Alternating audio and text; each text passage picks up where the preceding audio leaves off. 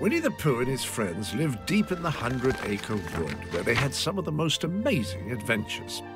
Have a look and see for yourself. Now, on this bright autumn day, young Roo was with his bestest friend Tigger, looking for clues to help Tigger learn about his family. Maybe it's in here, Roo Boy. Any clue can lead to my family, and then we can all both the whoop-de-dooper, loop-de-looper, alley-ooper bounce. The whoop would do what kind of bounce?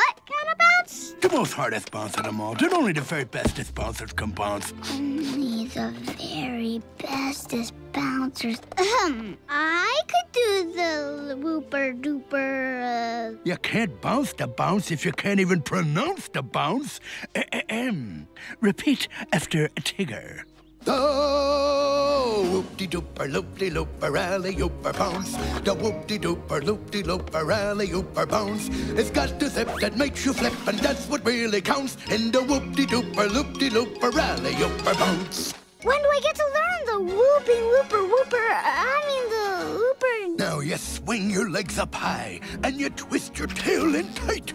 Wind up all your springs and with your eyes fixated straight ahead, you let it all loose.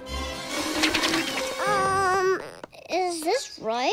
It's best when done by Tiggers, cause our Tiggerific figures are filled with whims and vigors, and that's the thing that triggers the whoop-de-dooper, loop-de-looper, alley-ooper bounce. The whoop-de-dooper, loop-de-looper, alley-ooper bounce. The more you try, the more you fly, and that's what really counts. Right, it activates, it elevates, accelerates, and more. You're bouncing off the ceiling like you never did before. The whoop-de-dooper, Whoop-de-dooper. loop-de-looper, Whoop-de-looper.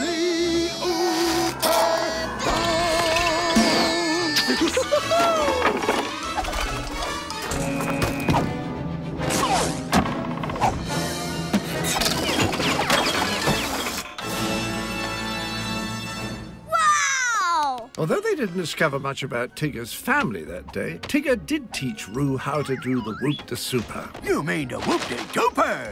Oh, right, the whoop de duper alley oop, whatever it was called. It was a very super bounce indeed.